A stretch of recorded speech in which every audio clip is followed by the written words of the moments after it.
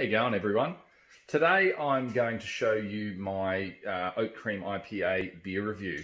Um, it's been about three months since I've done a video upload, um, and I filmed this one about three months ago as well. So um, that keg is long gone, but um, check out the recipe and also check out the review, uh, which is coming up next. Cheers.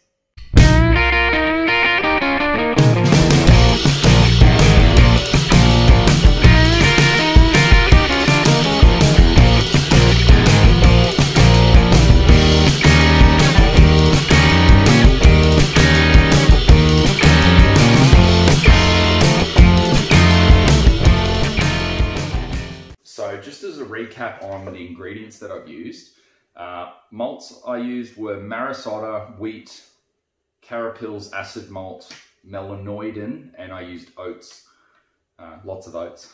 uh, hops used were Amarillo in the boil. Uh, for the Whirlpool, I used Amarillo, Cashmere, and Cryocitra. Uh, and then for dry hops, I used Cashmere, Vic Secret, and Cryocitra as well. Um, I also used 400 grams of lactose uh, after the boil. So I just mixed that in once everything was done just before the whirlpool, mixed it all in. Um, and I did add a little bit of dextrose. Um, I don't have how many, how much I used here, but I did use a little bit. Um, yeast used was East Coast Ale. That was a White Labs yeast.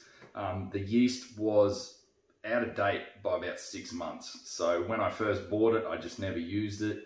I then kept it in the fridge, um, watched a few videos, and you can actually still use the yeast. Um, it's just not preferred. But the yeast came well. I chucked it into a two litre starter, got it mixed up, and then I was a little bit concerned when I tipped it into the fermenter because it didn't kick off straight away. But after about 24 hours, it started going and gave me gave me hope. So it, it fermented well, and the beer turned out beautifully. Um, starting gravity 1074, final was 1018, and I got a 7.3% ABV. So I'm gonna go pour a beer. I'll be right back. All right, here we go. Look at that. So I don't know if the I've got the camera facing me, so I don't know how well that's going to focus on the on the beer. So hopefully that that looks good in the picture. Um, for colour, I guess you it looks like a bloody like a mango and orange juice. Like it's quite it's quite a dark orange in appearance.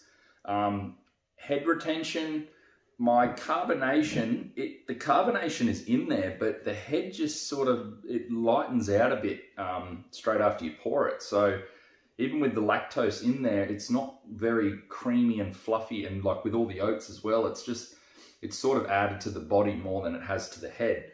Um, and the carbonation, as I said, was um, the carbonation is in there. It's it's not super active. It's just it's it seems to hold well within the beer. Um, let's give it a sniff for some aroma.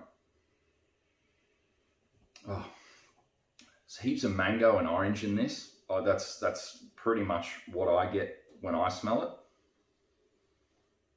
And there's definitely pineapple and passion fruit. Like it's it's a little fruit bowl, fruit punch. It's um, it smells amazing. So I'm gonna just give it a give it a sip straight away. Oh yeah. Mmm. Heaps of mango, heaps of pineapple, heaps of passion fruit, and also like a little bit of melon as well. Um, bitterness is quite medium. It's it's medium to high. Um, even though I did do little boil additions, the hoppiness, the hop oils seem to have come through a lot from the from the hops in the in the additions and the sorry in the dry additions and in the whirlpools. Um, but that's a good balance of bitterness. Mm.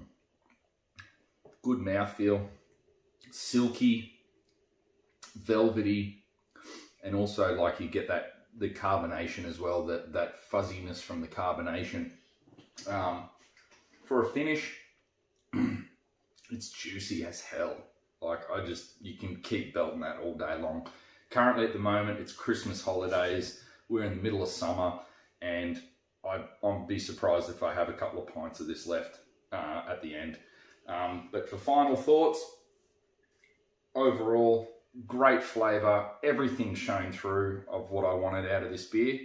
Um, all the fruit came through, so I'm getting, as again, I got that pineapple, that passion fruit, that mango, orange. It's all just coming through there. Soft mouth feel, bubbly and fuzzy on the inside.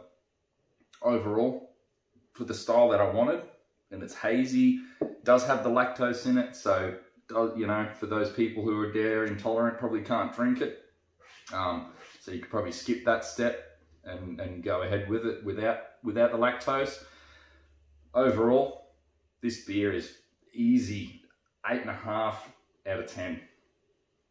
Easy, hands down, one of my best beers. Thanks for watching guys.